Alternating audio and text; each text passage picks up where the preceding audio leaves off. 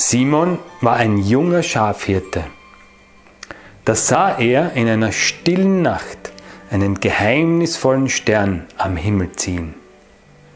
Simon konnte ihn nicht deuten, aber er erschien ihm von solcher Schönheit, dass er ihm wie verzaubert einfach folgte. Er kam zu einem Stall. Die drei Weisen standen dort schon mit ihren Geschenken in den Händen. Er sah das Kind in der Krippe. Seine Mutter Maria kniete einfach am Stallboden und Josef hielt den Ochsen und die Esel fest.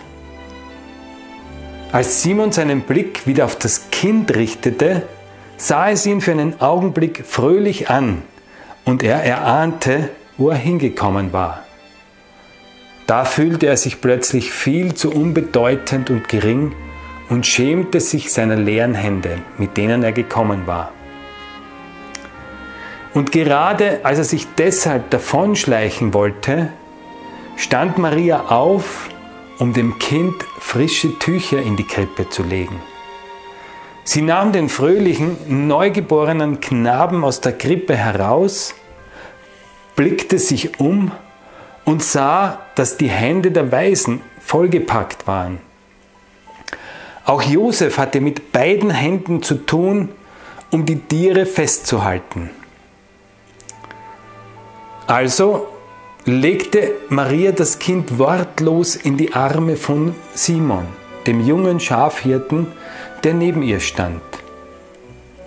Gebannt stand er da mit dem Heil, das auf die Welt gekommen war, in seinen Händen.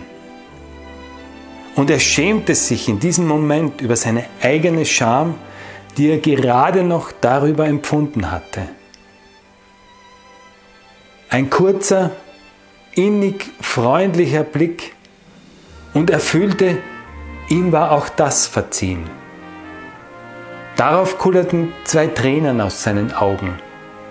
Und Simon erkannte klar und deutlich, dass der Knabe in seinen Händen gekommen war, alle unsere Tränen zu trocknen. Als Maria fertig war, bedankte sie sich lächelnd bei Simon.